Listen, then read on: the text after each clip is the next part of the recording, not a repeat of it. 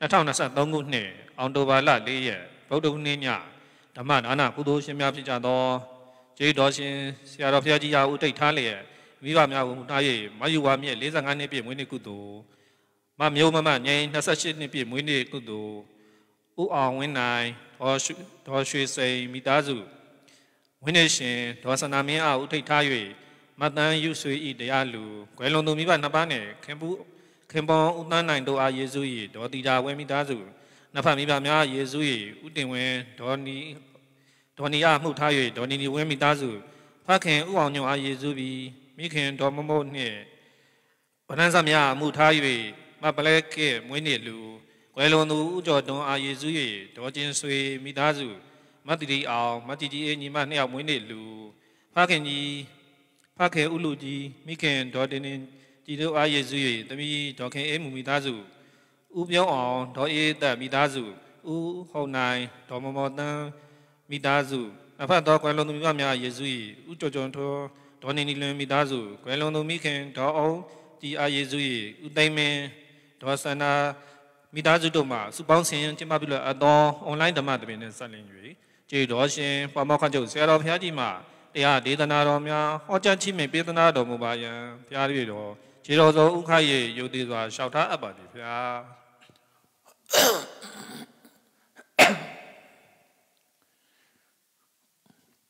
ထောက်တော့ရဆက်ဆက်ခုနှစ်တော်တဲ့နာဝိကျော်အာရဲ့2023ခုနှစ်အောက်တိုဘာလ4ရက်ဘုရားဦးနေ့ည၌အွန်လိုင်းမှာဟောကြားအပ်သောပ ဏိဒါနဘာဝနာနဲ့အပဏိဒါနဘာဝနာ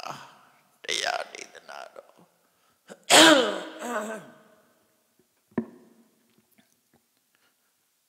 တတိပဋ္ဌာန်တရားနဲ့ပတ်သက်ပြီးတော့ဟောကြားထားတဲ့သုတ်တန်တစ်ခုရှိတယ်တတိပဋ္ဌာန်နဲ့ပတ်သက်ပြီးတော့ဟောတဲ့သုတ် တွေတော်တော်များများရှိတယ်အဲ့ဒါမဲ့ဘိက္ခုနုပတ္တယသုတ်ဆိုတာတသုတ်ပါဝင်ဘိက္ခုနုပတ္တယဆိုတာဘိက္ခုနီဥပတ္တယဘိက္ခုနီမာရီရဲ့အကြောင်းမှာဟောတဲ့သုတ်တံဖြစ်တယ်နော်အဲ့ဒီသုတ်တံမှာမတစကားလေးတွေပါတယ်နောက်တစ်ခါတတိပဋ္ဌာန်နဲ့ပတ်သက်လာလို့ရှိရင် သုံးချက်ခွဲပြီးတော့ရှင်းပြထားတဲ့သုတ်တံတစ်ခုရှိတယ်အဲ့ဒီသုတ်တံလေးတွေကိုအတူချုပ်မှတ်သားဖို့ရတော့တတိပဋ္ဌာနာဆိုတာတခုတတိပဋ္ဌာနာဘာဝနာဆိုတာကတခုတတိပဋ္ဌာနာဘာဝနာအနုခမိတိပฏิပဒါဆိုတာတခု သုံးခုခွဲပြီးတော့ဟောထားတယ်အာတတိပဋ္ဌာနာသုံးချီမှာတော့အလုံးပေါင်းပြီးတော့ပြထားတယ်ပေါင်းပြထားတော့ဒီသုတ်ကတညအဲ့မဟာတတိဝိရဏသုတ်ကိုပြတ်ပြီးတော့ရှင်းပြတဲ့အနေထားမျိုးရှိတယ်ပေါ့နော်ပထမကတတိပဋ္ဌာနာတတိပဋ္ဌာနာဆိုတော့တတိဖြစ်ရမယ် အာယုံလေးရပေါ်မှာတတိထားတာကိုဆိုလို့လေပေါ့တတိပဋ္ဌာနာဆိုတာအတတိပရဏတုတ်မှာပါတဲ့အတိုင်းကာယေကာယ ानु ပတိဝိဟရတိအာတာပိသမ္ပဇာနောတိမဝိနိယလောကေပိဇာတောမနတ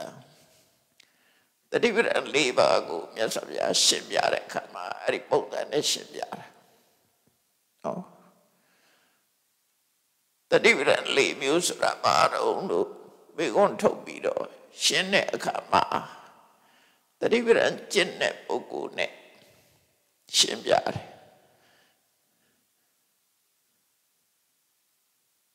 ယတိတံသတ္တရောတတိပဋ္ဌာနာတတိပဋ္ဌာန်၄ပါးလို့ ဖော်ပြပြီးတဲ့နောက်မှာကတမိသတ္တရောတတိပဋ္ဌာနာတတိပဋ္ဌာန်၄ပါးဆိုတာပါလေဆိုပြီးတတိပဋ္ဌာန်တတိပဋ္ဌာန်၄မျိုးရှင်းပြတဲ့အခါမှာပုဂ္ဂိုလ်အနေနဲ့ရှင်းပြပြန်ဘာလို့လဲဆိုတော့တတိဆိုတာပုဂ္ဂိုလ်မရှိဘဲနဲ့ဖြစ်မှာ ပုဂ္ဂိုလ်နဲ့တွဲဖက်ပြီးတော့ရှင်းပြတာတတိဆိုတာသဘာဝတရားတသက်ပဲအဲ့ဒီသဘာဝတရားကိုမိမိတဏ္ဍမှာဖြစ်အောင်လုပ်တဲ့ကမ္မထာအထုတ်တဲ့ပုဂ္ဂိုလ်အဲ့ဒီပုဂ္ဂိုလ်ရဲ့တဏ္ဍမှာဖြစ်တဲ့တတိကိုဆိုရဲသူကသူရှိနေတဲ့တတိကိုပြောတာမဟုတ်ဘူးပေါ့ဒါကြောင့်မလို့ပုဂ္ဂိုလ်နဲ့ဆက်ဆက်ပြီးတော့ရှင်းပြတာအဲ့ဒီမှာတတိပ္ပံ တတိပ္ပံဆိုတာဘာလဲလို့ရှင်းပြပြီးတော့ကာယေကာယ ानु ပတိဝိရတိအတ္တပိတပ္ပဇာနောတတိပဝိနေယလောကေအဘိဇာဒေါမနတံဆိုဒီထဲမှာစကားပိုက်နေတဲ့ခွဲပြပဲဆိုရင်ကာယေကာယ ानु ပတိဝိရတိဆိုတာကပ္ပထာအထုတ်တဲ့ပုဂ္ဂိုလ်ပြောတာက မ္မထာအထုတဲ့ယောဂီပုဂ္ဂိုလ်ဟာကာယဆိုတဲ့အာယုပေါ်မှာတတိကပ်ပြီးတော့စစ်စမပြရှုမှတ်ပြီးတော့စစ်စမပြရှုမှတ်နေတဲ့ပညာနဲ့ရှင်တဲ့တတိကပ်ထားတယ်လို့ဆိုတယ်ကာယဆိုတဲ့အာယုပေါ်မှာတတိကပ်နေတယ်အဲ့ဒီလိုတတိကပ်နေအောင်ဘာလို့ရတော့ဆိုအာတာပိသဗ္ဗဇာနောတတိပါ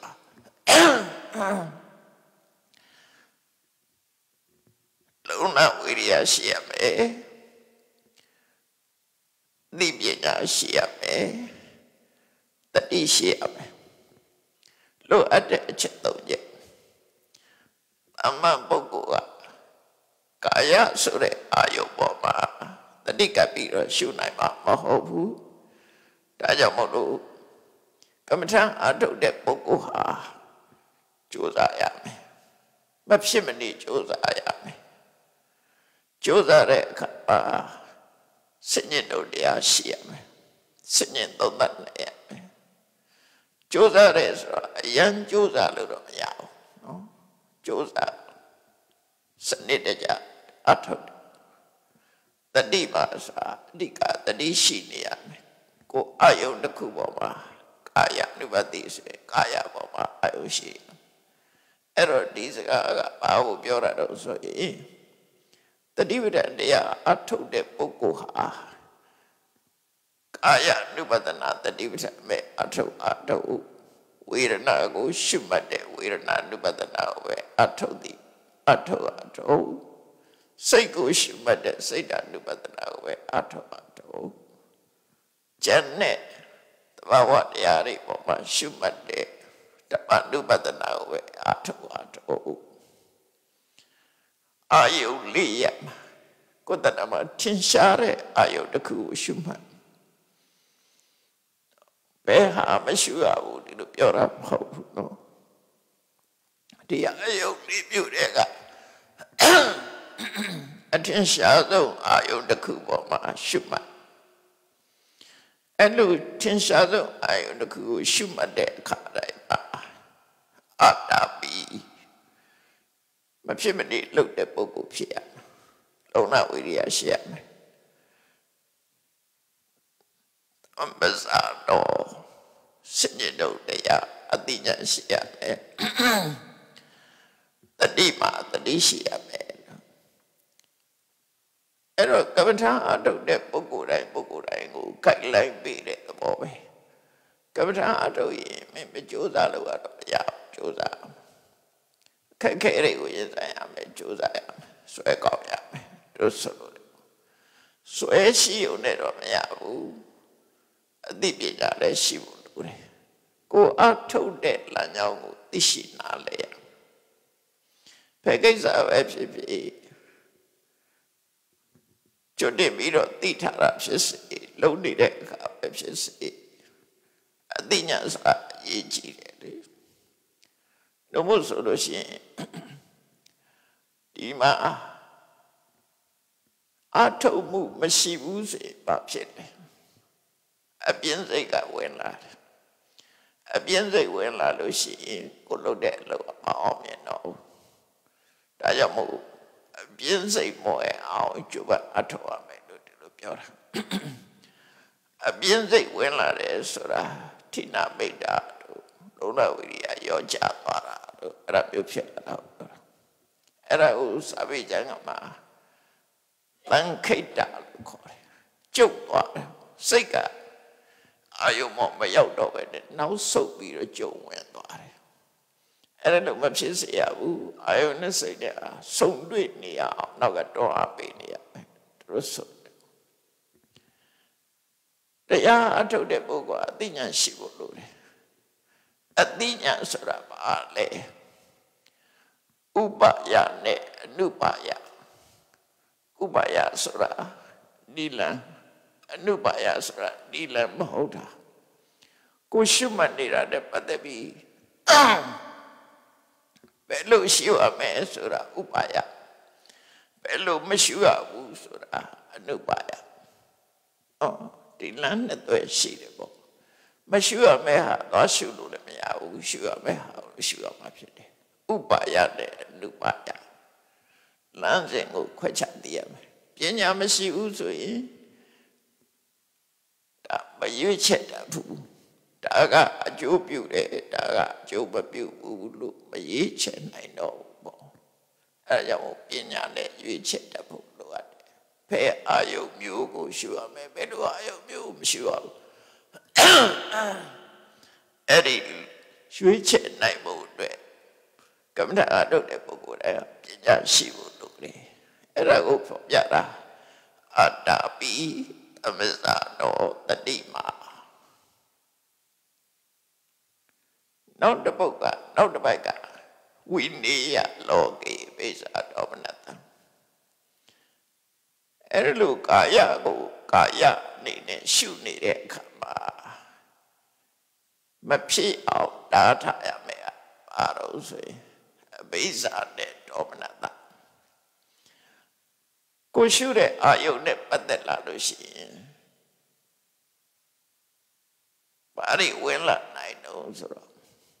ရှုတဲ့အာယုန်ပေါ်မှာရှုတဲ့အာယုန်ကနှစ်သက်ကျဉ်းတ်စရာကောင်းတယ်ဆိုရင်လောဘဖြစ်လာတယ်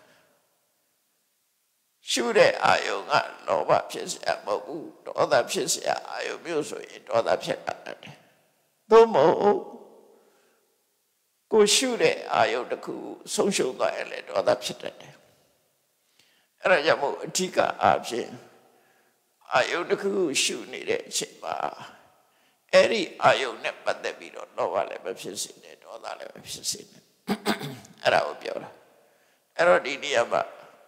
လောဘဒေါသကိုအဘိဇာဒေါမနတံလို့သုံးထားတယ်အဘိဇာအစရာသူဆက်တဲ့ပါတဲ့အဘိဇာကိုပြောတာမဟုတ်ဘူးသူဆက်တဲ့ပါတဲ့အဘိဇာကသူများပစ္စည်းကိုကိုပစ္စည်းလှုပ်လို့မှုဆိုတဲ့လောဘကိုပြောတာဒီအဘိဇာကအဲ့လိုမဟုတ်ဘူးရှုနေတဲ့အာယုပေါ်မှာလောဘနဲ့ကြံတွေးမှုလို့ဆိုလို့တယ် လူဆိုတာကောင်းရင်ကြိုက်တယ်ဆိုလောဘဖြစ်လာတယ်မကောင်းရင်ကျတော့ဆန့်ကျင်တဲ့ဒေါသဖြစ်တယ်အဲ့ဒီအစွန်းနှစ်ဖက်ကိုရှောင်လို့ရမယ်လို့ပြောတယ်အာယုန်နဲ့ပတ်သက်ပြီးမဖြစ်စေရဘူးအဲ့ဒါကိုကမ္မထာအတူတူတတိပဋ္ဌာနာဆိုတာအချက်၃ချက်ရှိနော်နံပါတ်၁ကအာယုန်ကိုရွေးချယ်တာဘာလို့ကာယအာယုန်ရွေးချယ်တာ ဝေဒနာအာယုကိုရွေးချယ်တယ်စိတ်ဓာတ်ဆိုတဲ့အာယုကိုရွေးချယ်တယ်ဓမ္မဆိုတဲ့အာယုရွေးချယ်မြည်သည့်အာယုကိုပဲရှုရှုရှုတဲ့အခါကြိုးစားအထောက်မှုရွေးချယ်တဲ့အသိဉာဏ်ရှိမှုနော်တတိထားမှုတတိမထားလို့ရှိရင်လည်းခုနကရှုရမယ့်အာယုကို မယူမိပြဲနဲ့မယူရမယ့်အာယုကိုယူမိတတ်တယ်ပေါ့ပညာကရွေးချယ်ပေးတာတတိကယူရမယ့်အာယုကိုယူပေးတာတတိကယူပေးကိုယူပေးသူတတိယူပေးတဲ့အာယုကိုပညာကရွေးချယ်အဲ့တော့ဒီသုံးခုပေါင်းပြီးတော့လုပ်တာနော်အဲ့ဒီသုံးခုပေါင်းပြီးတော့လှုပ်တာကိုတတိပဋ္ဌာန်လို့ အာယုမှာတတိကတ်နေတယ်လို့ဒီသုတ်တပလို့ရှင်းပြတယ်ဒါတတိကိုအဓိကထားပြီးတော့ရှင်းပြတာတတိတစ်ခုတည်းတော့မဟုတ်ဘူးနောက်တကတတိပဋ္ဌာနာဘာဝနာဆိုတာကိုရှင်းပြတယ်ကြတော့တတိပဋ္ဌာနာဘာဝနာဆိုတာအဲ့ဒီတတိကထားတဲ့အာယုရဲ့ဖြစ်ကြောင်းတရားကိုလည်းသိတယ်ချုပ်ကြောင်းတရားကိုလည်းသိတယ်သို့မဟုတ် ဖြစ်တဲ့သဘောရှိတာကိုလည်းသိတယ်ချုပ်တဲ့သဘောရှိတာကိုလည်းသိတယ်ဒါကြတော့ဖြစ်တာပြက်တာကိုသိတယ်ဝိပဿနာကြောင့်သဘောမျိုးဖြစ်တယ်နော်အဲ့ဒီတတိကအဲ့ဒီဖြစ်ပြက်မှုအာယုပေါ်မှာအာယုစိုက်တာလို့ရှိရင်ကိုယ့်ရဲ့တတိတွေအတိုးပွားလာတယ်ဖြစ်ချင်းပြက်ချင်းဆိုတဲ့သဘာဝတရားတသက်တင်ကြည့်နေတာမဟုတ်ဘူးအဲ့တော့ဝိပဿနာတရားအထုတ်တဲ့ဆိုရင်နံပါတ်1 ကိုရှိမှတ်မဲ့သဘာဝတရားကိုအရင်သိအောင်လုပ်အောင်။အော်ကိုရှိမှတ်တဲ့သဘာဝတရားအဲ့ဒါကိုသဘာဝလက္ခဏာလို့ခေါ်တယ်။သဘာဝလက္ခဏာကိုအရင်တွေ့အောင်လုပ်အောင်။သဘာဝလက္ခဏာကိုတွေ့ပြီးတဲ့အခါကျတော့အဲ့ဒီသဘာဝတရားရဲ့ဖြစ်လာပုံပြတ်သွားပုံသူ့ရဲ့အနေထားကို သာဝရတည်မြဲနေတာမဟုတ်ဘူးသဘာဝတရားသည်အကြောင်းကြောင့်ဖြစ်လိုက်တယ်ဖြစ်ပြီးပြတ်သွားတယ်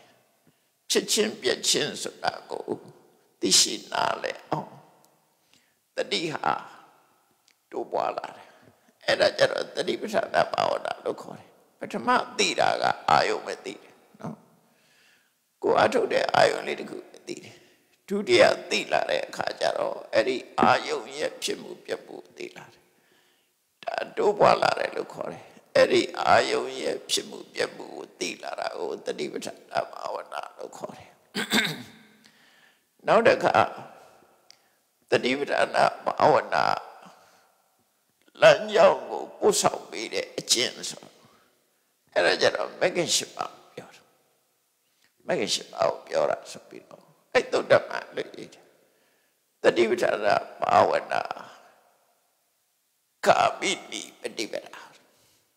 တတိပဋ္ဌာန်ဘာဝနာအတိုင်းရှောက်လန်းတဲ့အကျင့်လို့ဆိုလိုတယ်အဲ့ဒါကြတော့မဂ္ဂင်ရှိပါမဂ္ဂင်ရှိပါဆိုတာလေခုနပြောတဲ့အတိုင်းပဲအာယုတစ်ခုလှုပ်တယ်ဆိုလို့ရှိရင်ကြိုးစားအထောက်မှုတမဝါယမတတိထာရမှုတမတတိ စိတ်တည်ငြိမ်မှုတမတပါတိကောင်းစွာတွေ့တော်ဆင်ញင်တတ်မှုတမသင်္ကပ္ပနဲ့မှန်ကန်စွာသိမှုတမဒိဋ္ဌိဆိုလိုရကတမဒိဋ္ဌိတမကတမသင်္ကပ္ပတမဝါယမတမတတိတမတပါတိဆိုတယ်ဒီငါအခုပဲပြောတယ်ဒီငါအခုကအတိကပဲဒီငါအခုကိုပတ်ဖို့ပေးဖို့ရအတွက်က ကျွတ်တင်ပြီးတော့ရှိနေရမယ်အပါတော့ဆိုရင်အမဝါစာတဘကဝဒတဘာစီဝါဆိုတဲ့တိလာအဲ့ဒါကရှိပြီးသားဖြစ်ရအဲ့တော့ဆိုလိုတာကတမဝါစာတဘကဝဒတဘာအာစီဝါလို့ဆိုတဲ့တိလာဝိသုဒ္ဓိပေါ်မှာယက်တည်ပြီးတော့ကြိုးစားအထုတ်ခြင်းဖြင့်စိတ်စင်ကြယ်မှုတတိထားမှုကြိုးစားအထုတ်ခြင်း နောက်တကတမဝါယမတမတတိတမတမာတိဆိုတဲ့တမာတိကိုတိဆောက်တိဆောက်ပြီးတဲ့အခါသဘာဝတရားကိုကြံတွေးခြင်းနဲ့သိမြင်ဆုံးဖြတ်ခြင်းအမတေကတဲ့တမတိတိဒီနှစ်ခုကအလုံးလုံးသွားတာအဲ့ဒါလမ်းစဉ်ကတာပဲသူကနော်တတိတခုတဲ့လောရတာမဟုတ်ဘူးအလုံးစုပေါင်းပြီးတော့လုပ်တယ် ဖေးဟာပဲဖြစ်ဖြစ်အလုံးစုပေါင်းလုပ်တာထမင်းချက်တာတောင်မှစုပေါင်းလုပ်တယ်ဆိုတာထင်ရှားတယ်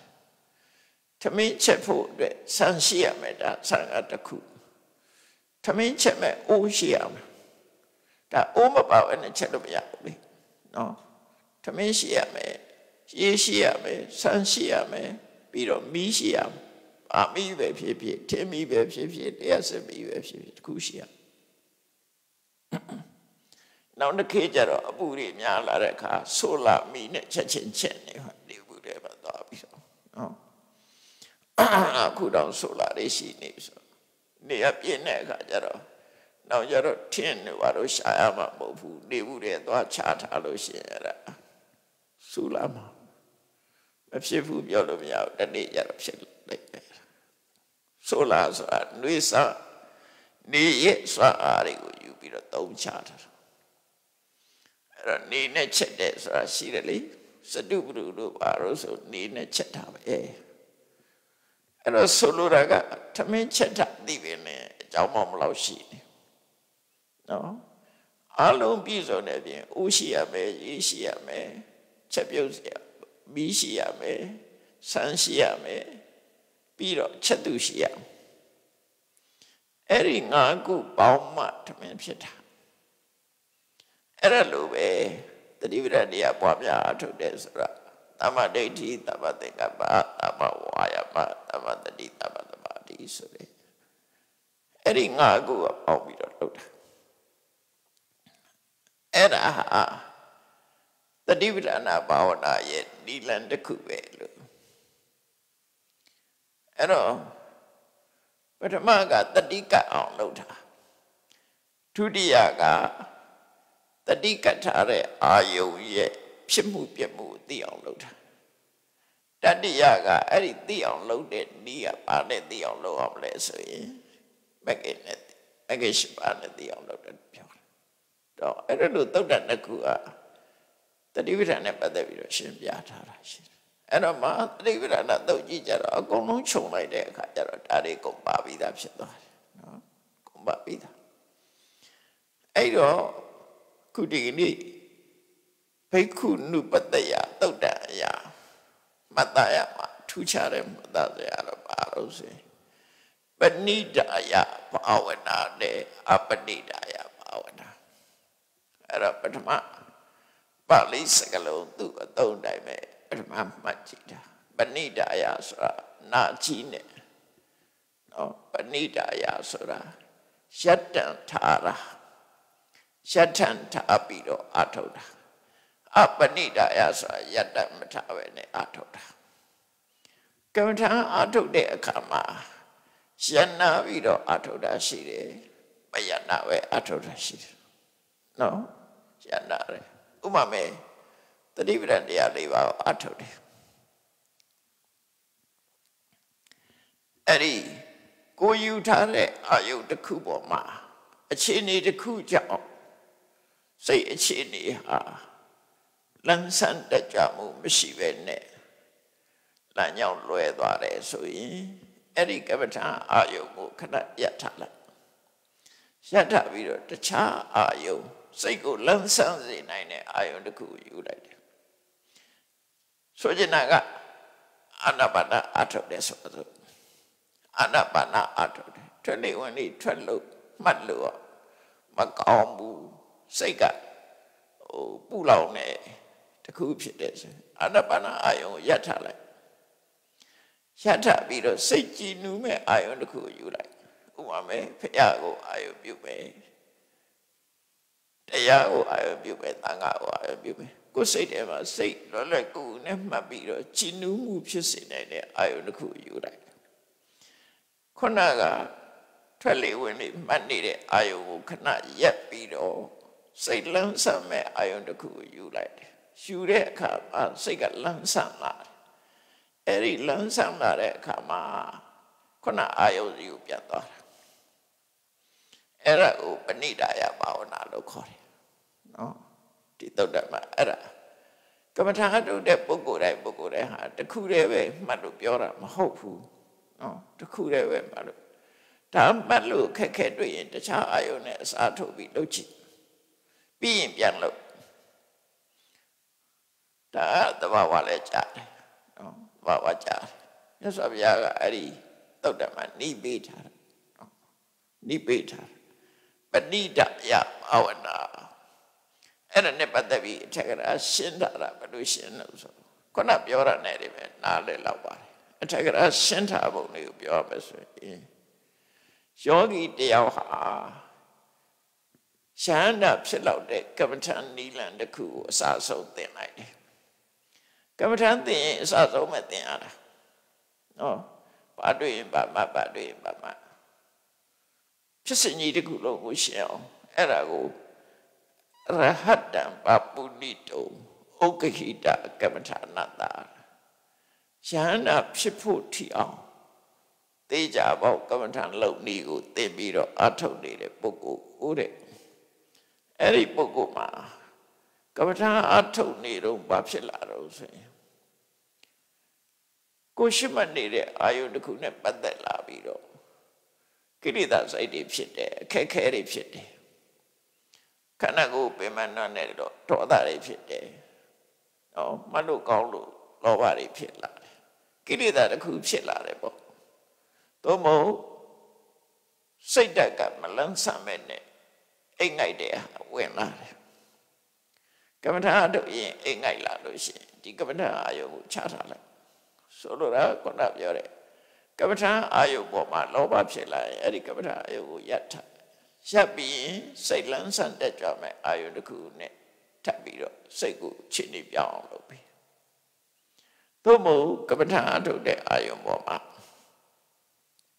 နော်စိတ်မပါတော့ဘူး တွန့်ဆုတ်သွားတယ်ပြင်းလာတယ်ဆက်ပြီးတော့မမှတ်ချင်တော့ဘူးဆိုလို့ရှိရင်အဲ့ဒီအာယုကိုခဏရပ်ထားလိုက်နောက်တကကိုယ့်ရဲ့စိတ်အခြေအနေကရှုမှတ်နေတဲ့အာယုံပေါ်မှာစိတ်ကမတည်ပဲနဲ့ဘေးကအာယုံတွေပေါ်ရောက်ပြီးတော့စိတ်ကပြန်လွယ်နေတယ်ကမ္မထာအထုတ်လို့ရှိရင်၃မျိုးဖြစ်နိုင်တယ်ပြောတာနော်၃မျိုးဖြစ်နိုင်တယ် ကိုယ်အာယုံပြုတ်နေတဲ့အရာပေါ်မှာစိတ်ပူလောင်မှုတစ်ခုဖြစ်လာတယ်ကိလေသာတစ်ခုဖြစ်လာတယ်အဲ့ဒါကတစ်ခု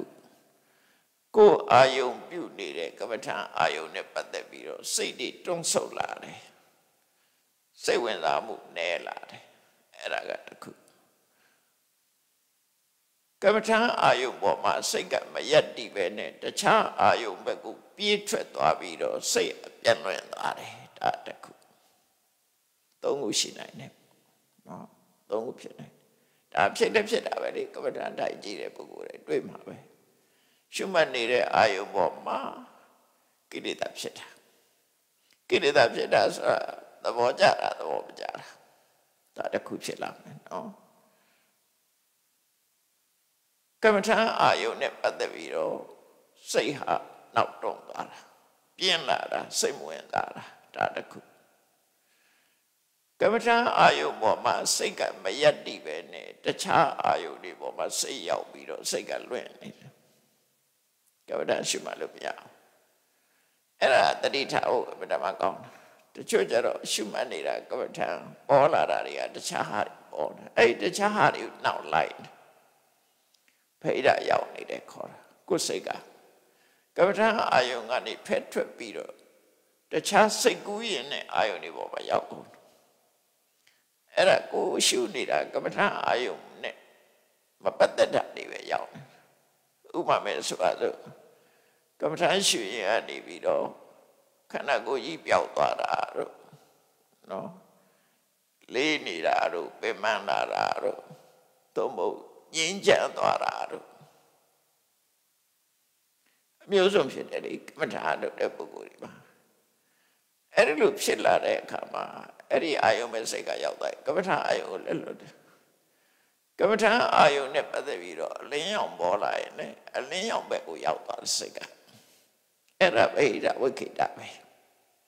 အပြင်အာယုကမ္မထာအာယုမဟုတ်တဲ့စီရောက်သွားတာ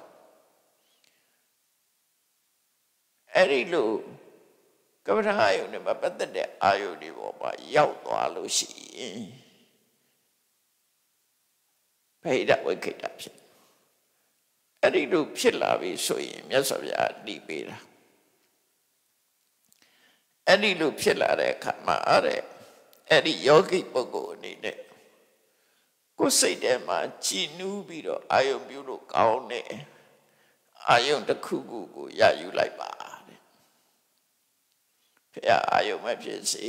မေတ္တာပို့တာပဲဖြစ်စေတခုပေါ်ပေါ်ပါပါလေ စိတ်ကလည်းကြည်နူးတယ်စိတ်လည်းဝင်စားတယ်ဆိုရယ်အာယုံလေးတစ်ခုပေါ်မှာပြောင်းလိုက်ပါနော်အထက်ကရာဆရာကတော့ဗာပြောထားတော့ဆိုမြတ်စွာဘုရားကိုအာယုပြုပြီးတော့ဘုရားနုတ္တိပွားကြည့်လိုက်ပါတဲ့ဘုရားနုတ္တိပွားကြည့်လိုက်ဘုရားနုတ္တိဆိုတာဘုရားကိုဘုရားကိုချီးညိုတဲ့ပုဂ္ဂိုလ်တိုင်းပုဂ္ဂိုလ်တိုင်းဟာစိတ်ကကြည်နူးလာနော်စိတ်ကြည်လာတယ် အကိုလာတယ်ယုံကြည်လာတယ်အဲ့စိတ်ကြည်လာအောင်လို့ဘုရားနုတ္တိကမ္မထာကိုပွားလိုက်ပါအဲ့ဒါကမ္မထာအာယုပြောင်းပေးတာပဲနော်ပြောင်းပေးလိုက်တာအဲ့ဒီလိုပြောင်းပေးလိုက်တဲ့အခါကျတော့ဘာဖြစ်လာတော့ကပ္ပဒအာယုခုနအာနာပါနရှုရင်ကနေဗုဒ္ဓနုတ္တိကိုပြောင်းပြီးတော့မှတ်လိုက်တယ်အဲ့ဒီလိုပြောင်းပြီးတော့မှတ်လိုက်တဲ့အခါမှာ ဘာဖြစ်တုံးဆိုဖះကိုအာယုပြုပြီးစိတ်ထဲမှာဝမ်းသာတဲ့စိတ်ဖြစ်လာတယ်။ဘာမောက်စားဆိုတဲ့ဝမ်းမြောက်ခြင်းဖြစ်လာတယ်။ဝမ်းမြောက်ခြင်းဖြစ်တဲ့အခါမှာစိတ်ထဲမှာပီတိဖြစ်လာတယ်ဘုရားကုတ်ကိုအပြီးပြီးပီတိဖြစ်လာတယ်ပီတိဖြစ်လာလို့ရှိရင်ကိုယ်ရစိတ်ပါငြိမ်ကြလာတယ်ကိုယ်စိတ်ငြိမ်ချမ်းလို့လာလို့ရှိရင်နေလို့ထိုင်လို့ ချမ်းသာမှုတွေဖြစ်လာတယ်ဒုက္ခဆိုတာဖြစ်လာတယ်အဲ့ဒီဒုက္ခဖြစ်လာပြီဆိုတဲ့ကမှာစိတ်ကတဘာတိပြန်တည်ငြိမ်သွားတယ်အဲ့ဒီအာယုံမှာတည်ငြိမ်သွားတယ်အဲ့ဒီလိုတည်ငြိမ်သွားတဲ့အခါမှာယောဂီပုဂ္ဂိုလ်ကဘာစဉ်းစားငါစိတ်တွေဟာကိလေသာတွေကြောင့်ပူပန်သွားတယ်သို့မဟုတ်ငါဟာကမ္မထာပေါ်မှာစိတ်မဝင်စားမှုဖြစ်သွားတယ် သို့မဟုတ်ငါရှုနေတဲ့အာယုံကတခြားအာယုံတွေကဝင်ရောက်နှောက်ယှက်ပြီးတော့ငါစိတ်ကလွင့်ပြန်နေတယ်အဲ့ဒါတွေပျောက်ဖို့အတွက်စိတ်ကြည်နူးတဲ့ဘုရားတော်သတိကိုငါပြောင်းရှုလိုက်တာအခုချိန်